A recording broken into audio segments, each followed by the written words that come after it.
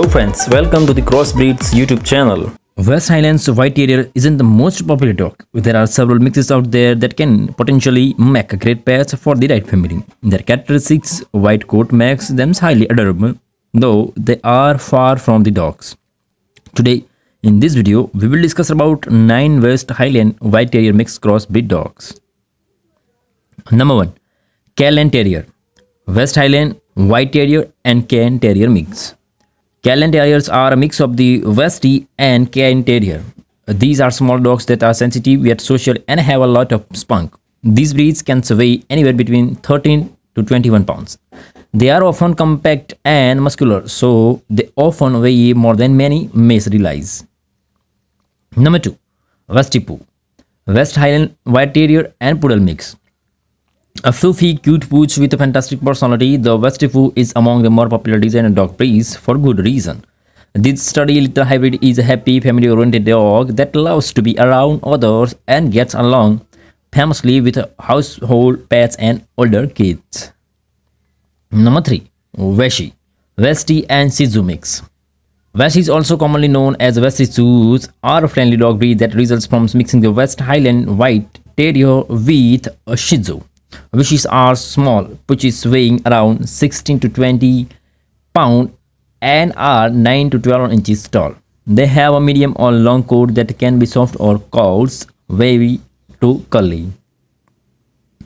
Number 4. Bostie Westie and Boston Terrier mix.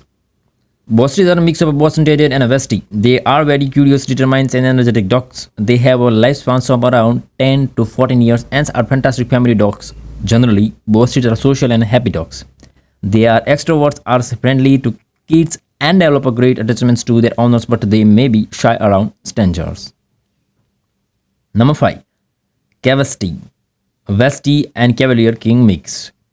A cross between a Westie and a Cavalier King Charles Spaniel, the Cavesties are friendly, affectionate and smart dogs that get along with the people of all ages and other pets too. Cavesties are very intelligent and friendly. They love people and can play with other dogs for very long.